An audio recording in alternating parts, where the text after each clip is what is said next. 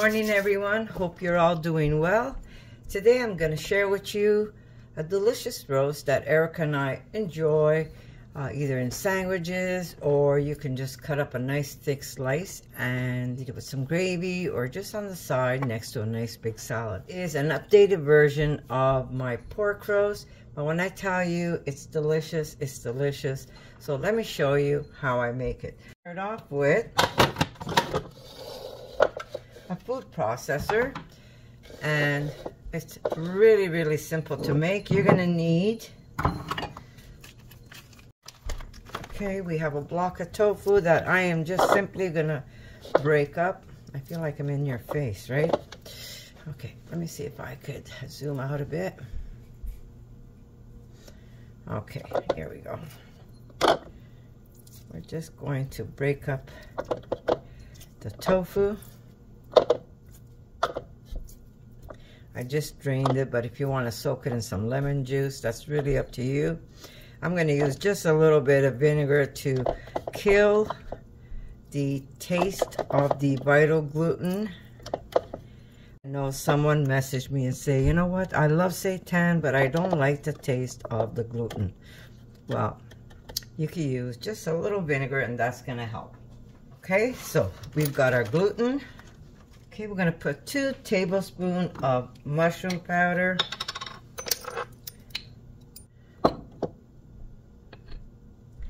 Here we go.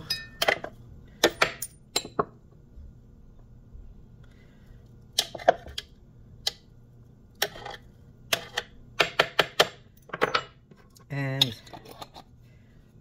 mushroom powder. All I do is I buy dry shiitake mushrooms and I just blitz it up in a blender and I get all the powder I need. And I barely made a dent in my mushroom bag and I have so much powder. And you're gonna buy yourself the mushroom powder itself.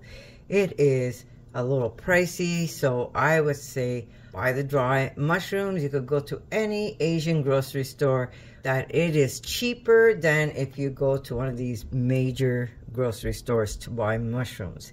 So any mushroom that you see there that's dry, you can use once you turn it into a powder. Very, very good. If you have had my chicken recipe, I have it up on I have it up on YouTube. If you follow that, you can make a big batch of that. I would say about two tablespoons of that. I'm gonna add to this some um, Vital Wheat gluten. Okay, so I'm using, okay, I'm using a third cup for measuring. Now, like I said, my measuring is, I really don't have any specific uh, recipe, but what I do use, since I have it right in my jar, I always keep it in here. This is what I use to grab my flour, and that's what I'm going to use to measure it, I'm going to use one, two, okay, I'm going to do three to start off with. And then if I need it, if I find it's too wet, I'm going to add a little extra. Have some ready if I need it more. Okay, to this, we're going to add some olive oil. Now I usually just kind of drizzle it like that. I would say three rounds of olive oil. Okay, I do the same thing with the maple. I just do about one round of maple.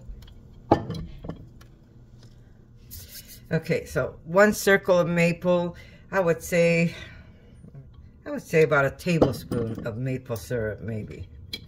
Yeah. So that would have been maybe three tablespoons of olive oil, but you could always use more. I will use a little extra olive oil later, and you'll see why. To this, we're going to add about half a cup of milk. I love using soy milk. But any milk you have, any vegan milk you have is going to work for you. Here's my half cup.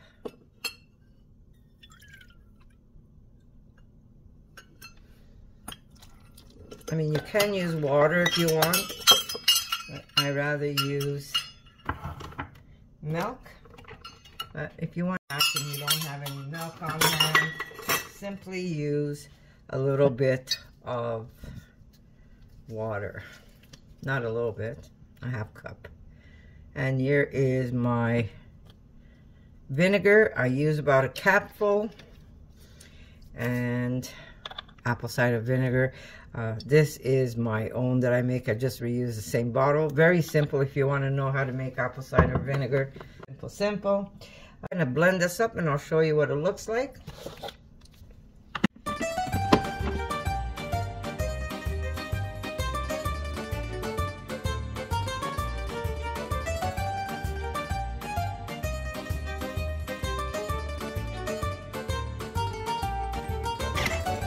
When your machine is overworking, just give it a pause, let it pause for a minute, two minutes, and then go at it again. You could also push down some of your ingredients if you have to, but it, it will eventually all come together without you having to uh, push your dough down or you'll see what I mean.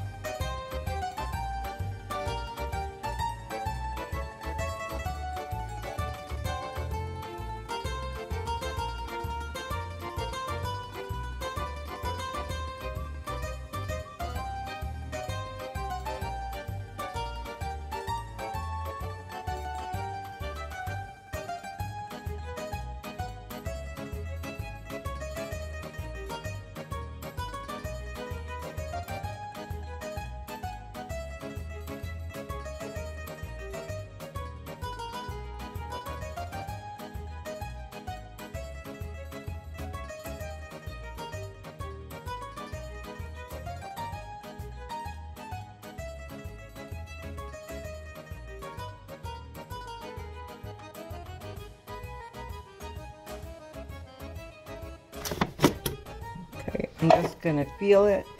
I can see that this is still very wet, so I'm going to add just a little bit of Vital Wheat gluten. Not even using a full amount, but it's going to help bring that together. Remember, if you want it very tender, just leave it at three of the one-third cups. But if you have it a little firmer like I do. I'm going to put more. It wasn't a full one-third cup. That's going to make it a little firmer for me. So I am going to go back in and mix this.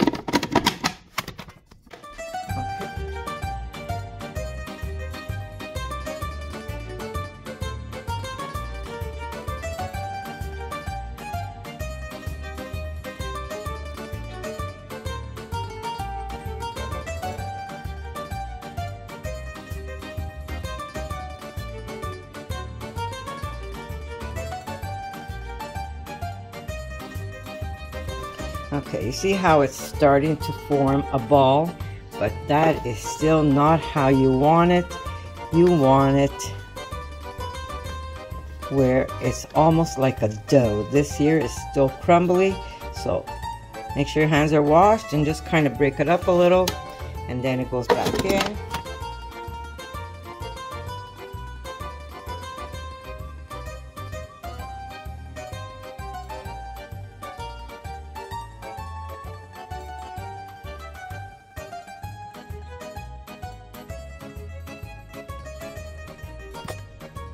About a tablespoon of mustard.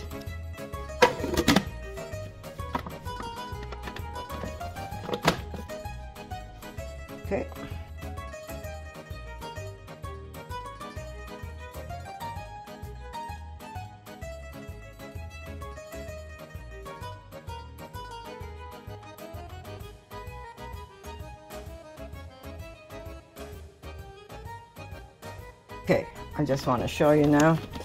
Look at the way the dough ball looks. Take just a little bit of flour so it doesn't stick on my counter. If you have a marble counter, I'm sure you're good with just that. Okay. I'm going to keep that out because I need it. Our dough right onto it. Feels like a lot of work, but it really isn't. And guys, if you don't like me exp explaining my videos, maybe this is not a channel for you, but when I make something, I try to explain everything so this way your life is easier because you're going to know why I did what I did. So I leave it at that. Okay, we're going to try and flatten it. It's not going to get flattened, but I want to push it down as much as I can. And a lot of you are going to say, why do you make things that look like meat or it tastes like meat? Well, the flavors do. Uh, the flavors, flavors that you add to this roast reminds you, but it really isn't meat. So, but it is delicious. It fills you up. You have Lots of protein in this. You've got the tofu, you've got the vital wheat gluten. Okay, this is as good as it's gonna get. Okay, so now, if you notice when you have pork meat, there's always a little bit of pink, that kind of little spots of pink. So what I'm gonna do here is first put a coating of olive oil There we go. Let me just wash my hands, wipe down my hands. Okay. Now, if you have beetroot powder, into it. Just a little bit. You don't want a lot, because you don't want this. That was way too much beetroot. You don't want this to turn red on you, but you want it that it kind of reminds you that how pork roast looks like it. I always had a little bit of red. Okay. And you can use fresh or you can use dry. Use dry because it's right next to me in my drawer. We're going to put some rosemary. We're going to make this delicious. This is no different like you're making a pork roast. Okay. We're going to get, put that aside. Okay. So I've got a garlic clove. You don't need more than that. I could even use my fermented garlic. Hmm. Just wanted debating if I should use that instead. Okay, so we're going to just cut up this garlic in thin slices. and it is going to be delicious delicious oh yes another thing you can use if you want to kill that taste of gluten is a little bit of olive water just a little bit because otherwise it's going to taste like olives I mean if you're okay with the taste of olives but just a little bit it's going to give you that delicious flavor is what we did here we added rosemary we're adding garlic. That is what's going to make it super delicious. And when you cut this, oh my God, so good. So good. We will be steaming this. You can't put it in the oven, but I find that if you put it in the oven, it'll dry up on you. Wrap it up and steam it. Okay, so we have a little piece of garlic there and we're gonna put a little piece of garlic here and that's good okay now we're gonna roll this up and as we roll we're gonna put a little bit of mustard roll a little bit of mustard okay we go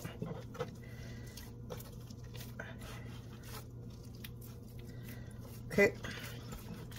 And you could roll it onto your flour. Just makes everything come together. Now we're gonna get, oh, let me just tuck that in, some garlic. Okay, we're gonna get some rice paper and we're gonna wet it. Okay, down it goes. Yeah, we'll do it this way. And we're gonna put some, where did my mustard go? My mustard, oh, here it is. Okay. We're gonna put that there. And we're gonna wrap it up, turn it over like this. A little more mustard on this one. I just ran them underwater, guys. And if you want, you can maybe add some, a little bit of beet there. There we go. We're gonna put it there. And we're gonna roll it that way. Ooh. Okay.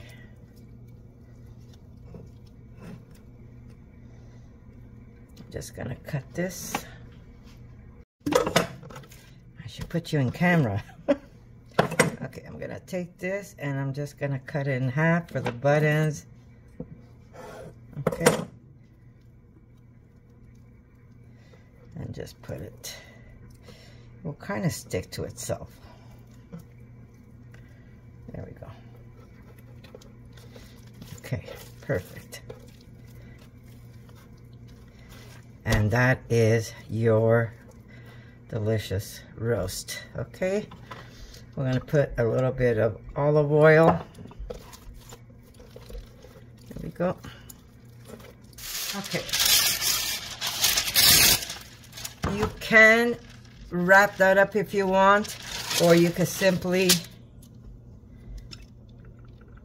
do this a little this and we are going to just gonna wrap it up like this for now. Okay.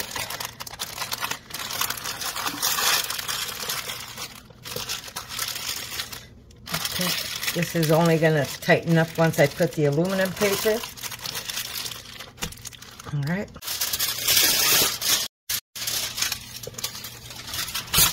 all right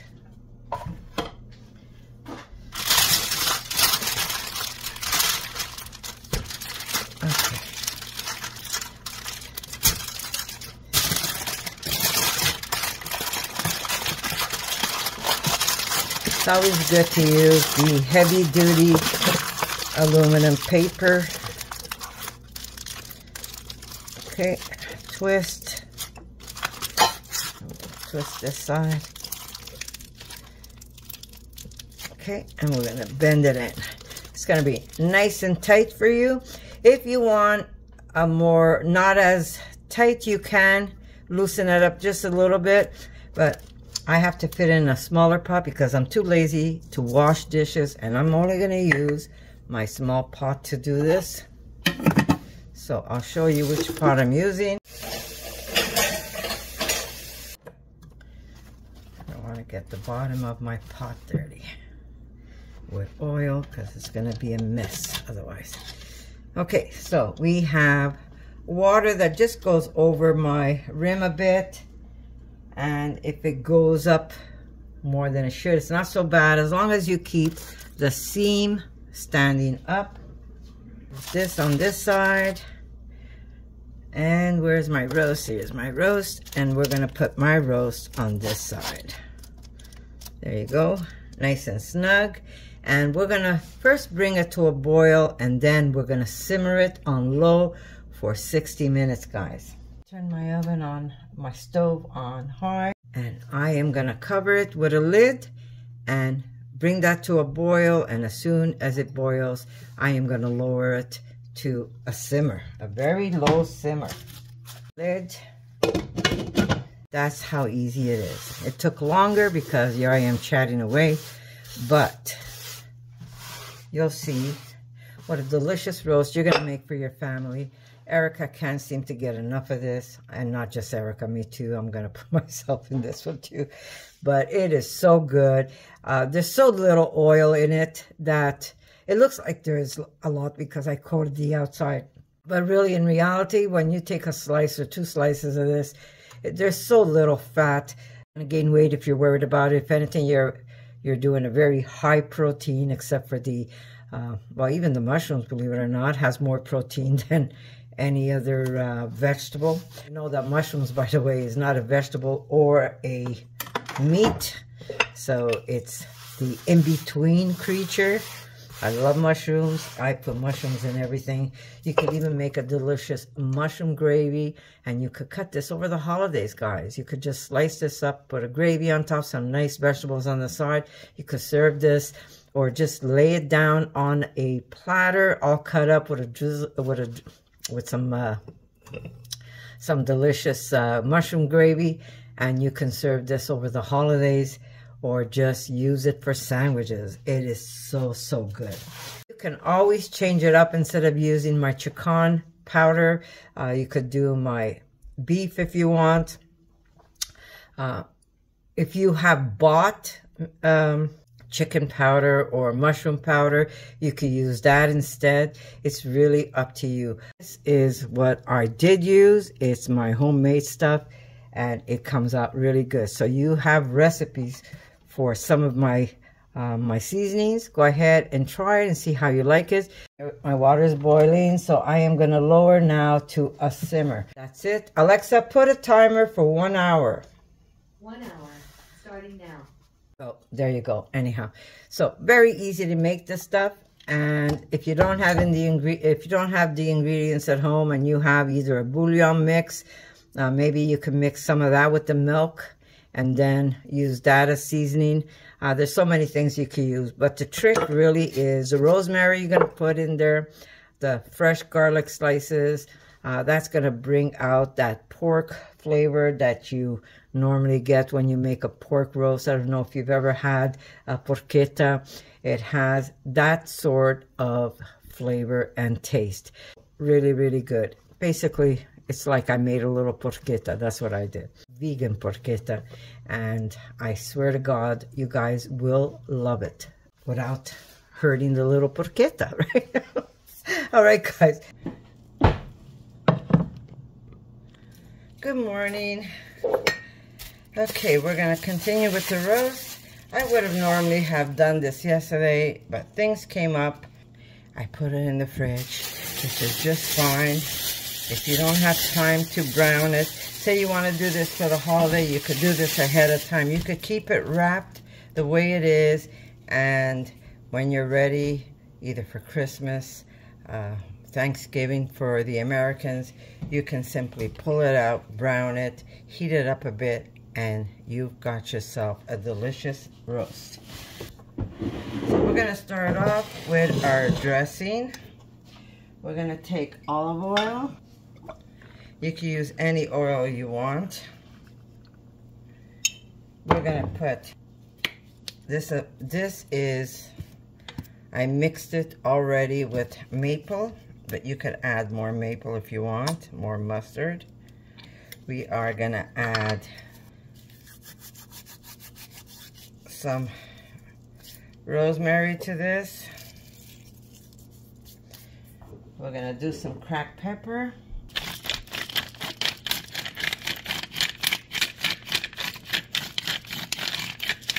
There we go. And we're going to use, you don't have to, but I have this delicious, it's, well, it's a salt that's infused with mushroom flavor. Again, you don't have to. And we're going to put this aside and put it on low on my stove just to get it going. Well, actually, I'm going to put it on medium. Okay, we're gonna close this up. Let me just go wash my hands.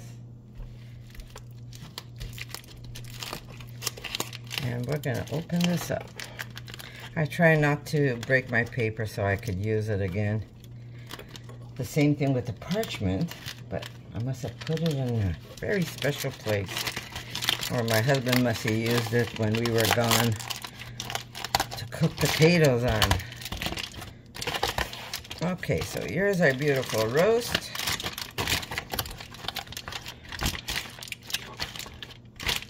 Okay.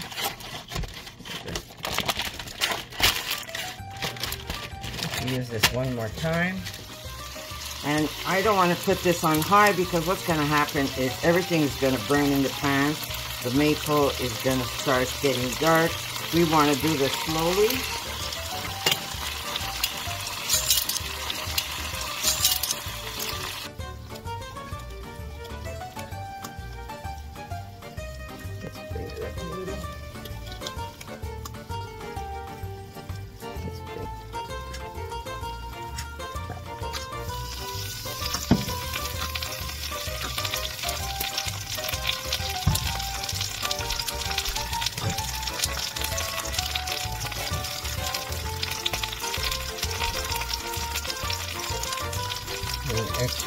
Extra maple.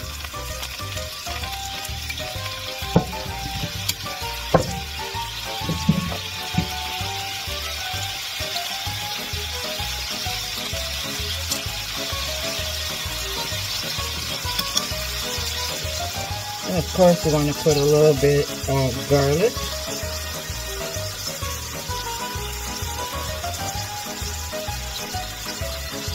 You don't want to put this on high because the garlic is going to burn on you. You can also do this in the oven if you want. And just once in a while, just glaze it.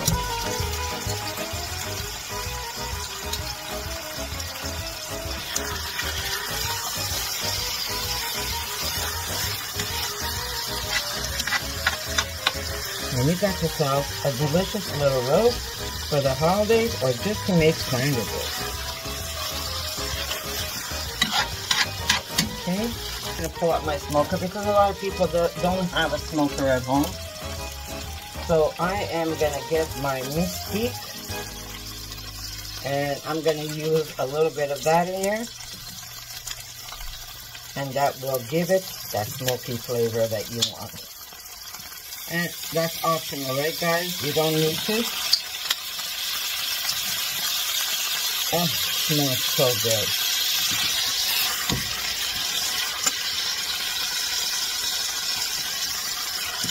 Okay.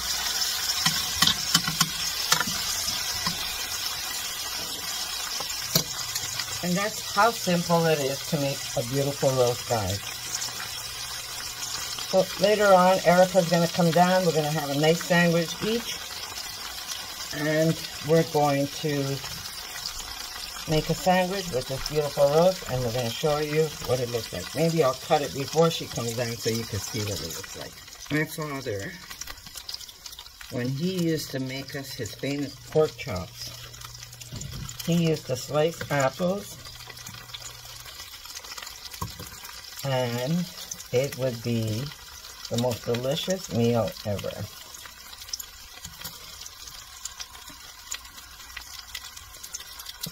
So, just because we're not using animal pork chops doesn't mean we can't do this with our faux pork roast. Or like us Italians will call it porchetta. Okay.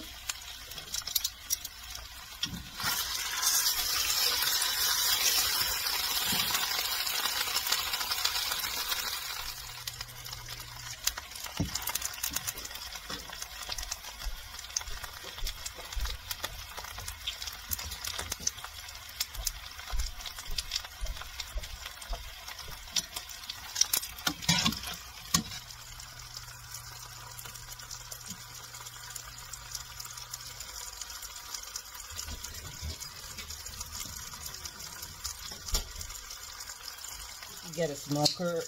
The smoker is a lot better, guys, but for now, we're doing it this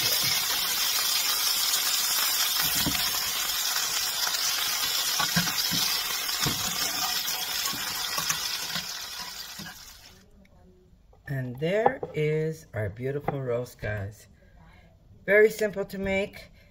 You can make this ahead of time and then brown it later. You could heat it up later. Uh, but yes, we're going to use it as a cold cut this morning. Well, not this morning, this afternoon. But very simple. You could cook some beautiful apples on the side. That's the way my father used to cook his pork meat. And this is a holiday porchetta that I make for my family. And I wanted to share it with you. I had a pork meat that I made, but this one is a lot better than the last one. And the longer you stay vegan, the more creative you get. And how simple was this, really? And uh, you could have this prepared for your family to have sandwiches. You could make it as a holiday dish. It's really up to you. And the baked apples really go nice if you're going to use it as a roast. We're going to use it as a sandwich meat.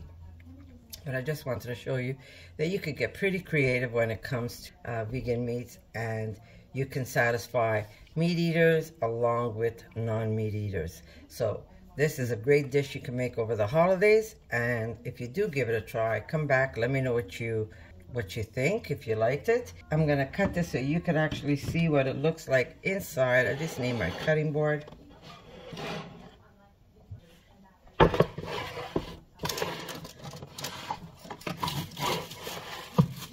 Go. Okay, I just need a knife.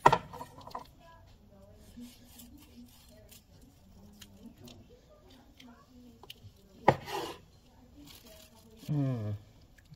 This looks amazing.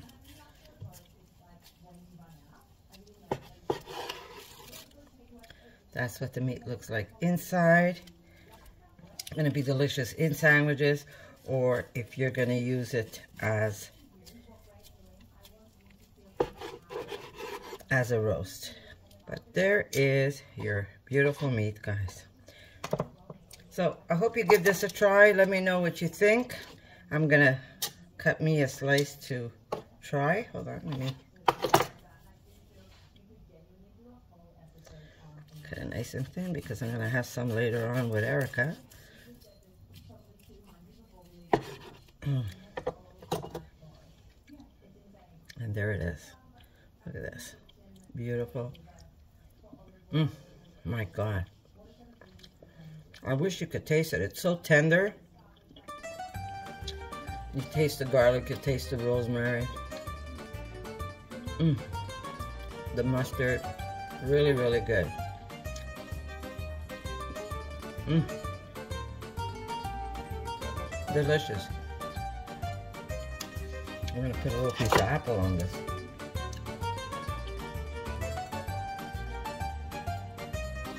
Mm.